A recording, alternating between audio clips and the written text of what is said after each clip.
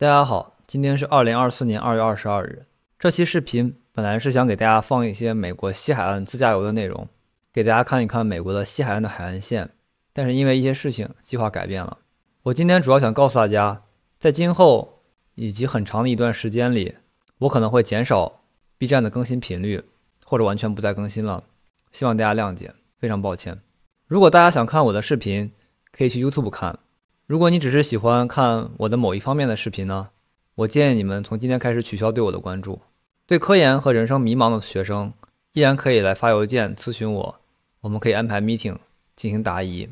科学家想做出好的科研，也需要时间成长。科学家要在这个世界上生活，也需要钱。UP 主想做出好的视频，也需要时间成长。UP 主想要在这个世界上生活，也需要钱。还有，最重要的是心态。当心态已经爆炸，估计没有办法再继续做了。今天的视频我主要讲两件事情：第一件事情，阿斯顿发送到粉；第二件事情，英语口音；第三件事情，YouTube 新算法以及 UP 主明暗追踪遇到的一些事情；第二件事情，朋友家的春晚视频；第二件事情，以后的计划；第二件事情，两个小故事，一个是关于小费的，一个是关于朋友圈的。首先，我想感谢这位叫阿斯顿。发送到粉的粉丝给我充电，我想说下，我已经把充电功能关了，希望大家以后不要再给我充电了，非常感谢。我自己都觉得我做的视频非常糟糕，请大家不要浪费自己辛苦赚来的血汗钱，非常感谢。这些钱去购买一个俄罗斯院士，它不香吗？我这里不卖这玩意儿，非常抱歉。常言道，忠言逆耳利于行，良药苦口利于病。我把它放入白名单。并不是因为他的留言比较优美、动听、清脆、悦耳，主要是我不希望他再给我充电。我停止更新 B 站，也不是因为这个粉丝。我停止做视频，主要是我觉得自己做的一些游戏类视频和生活类视频质量太低了，跟这位粉丝毫无关系。我的视频主要有三种录制方式：第一种用 PPT 录制，第二种用 Zoom 录制，第三种用 Pocket Two 录制。我自己也看到了，并且发现了我的非 PPT 视频的收视率，可能是我用 PPT 做的视频的收视率的十分之一。为了不浪费大家时间，我把那些视频已经从 B 站上全都删了。在这里再次向大家道歉，那些视频主要的面向对象是我自己的学生，并不是普罗大众。如果我的学生想看，你们自己可以去 YouTube 看看。之所以打游戏的视频没人看，但是我还坚持做，是因为这样一个原因：有几个学生跟我说。他们从我的视频看到，一个做科研做的相对来说比较好的人，其实也是一个普通人。打游戏可以很菜，唱歌可以非常跑调。我做生活类的视频，主要是我的学生想了解一下。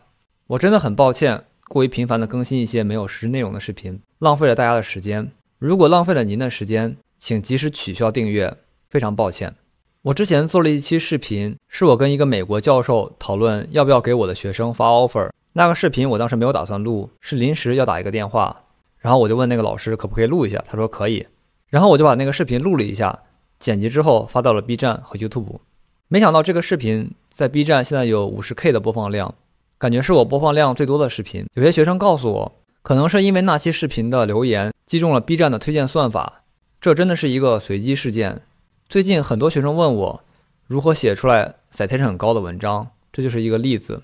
我在开始做视频前，我做了一些调查，因为我的英语口语太差，做英文节目应该没有观众，所以我打算做中文节目。但是我的一些外国教授朋友们，他们希望我做一些英文的，因为他们也想看，所以我偶尔会发一些英文的视频。大家在评论区说我英语口音差，这个确实说的没错，而且我非常理解这些觉得我口音差的朋友。我自己如果打开 YouTube 视频，发现那个人在说口音版本的英语。我大概率也是会关掉的，然后去找一个说中文的视频看看。但我可能不会去别人视频下留言，因为没有时间。我也看到了很多学生在帮我洗白，我也非常感谢。说实话，我英语真的差，大家没有必要帮我洗白。从这次口音视频最大的收获是我发现，争议性的话题可能会击中 B 站的算法。我一开始以为是赛博坦音效或者 title 叫编什么编什么，所以做了一些测试。后来发现都不是。我本来打算出更多具有争议性的视频，带来更多的流量。但是最近 YouTube 修改了算法，说不能在视频里边讨论过多争议性的内容。具体 YouTube 发生了什么，大家可以去看《谜案追踪》的最近一期节目。最近 YouTube 给很多没有出镜的 UP 主发邮件说停止他们的盈利，因为怀疑他们的视频是 AI 生成的。然后需要 UP 主做一个五分钟的视频，解释自己是怎么做视频的，以及为什么不是 AI 生成的。这个东西一方面是好的，能阻止 AI 视频在网上泛滥。但是，一刀切的做法对于那些辛辛苦苦做视频的 UP 主，他们可能没有别的收入。对于这样的 UP 主，他们就直接没有收入了。大家可以感受一下，这是不是相当于直接被裁员了？感觉 YouTube 的算法还是非常需要提升的。我个人觉得这是一个非常好的科研方向，大家可以考虑考虑。如何写这方面的论文？以后，这是我一个朋友的频道，是这个叔叔阿姨一起录制自己家的春晚视频，我感觉还是非常不错的。如果同学们以后想去哈佛读书，我建议你们在下面多多点赞，给点好评。如果不能理解我在说啥，就当我没说。下面是一个以后的计划，我以后会主要更新 YouTube 和 TikTok，然后为了兼顾这两个平台，需要做些妥协，关于视频上的长度。YouTube 的话，你的视频长于八分钟才能加广告；TikTok 你只能传小于十分钟的视频。我以后会尽量传八到十分钟之内的视频。B 站的话，我有两个想法，现在还不确定具体实施哪一个方案。一种就是每个月选一期反馈比较好的视频投放到 B 站，还有一个就是永远停止 B 站的更新。目前我还没有想好。最后给大家分享几个小故事。前几天听别人讲的一个小费故事。就是一个人去一个饭店吃饭，大家都知道美国是要给小费的，一般百分之十到百分之十五，也可能更低，也可能更高。具体情况根据餐馆等级以及你在哪个州决定。那个人去一家饭店点了三个菜，每个菜大概十刀。他吃完发现一个菜还可以，另外两个菜很难吃。正常的话他就只需要给四到六刀小费，但是这个人呢，他给了一百刀小费，然后跟这个店老板说。你能不能以后不要再做这两个菜了？你这两个菜这么难吃，以后应该没有人会来吃了。然后店老板晚上就没有睡着觉，第二天决定把这家分店关了。不知道大家能不能听懂我说的故事？我们再给大家讲一个故事。大家都知道微信朋友圈的功能。我有两个朋友 A 和 B，A 特别喜欢发朋友圈，B 有一次给 A 说：“我觉得你的朋友圈大部分都非常无聊，快把我刷屏了。我能不能给你点钱？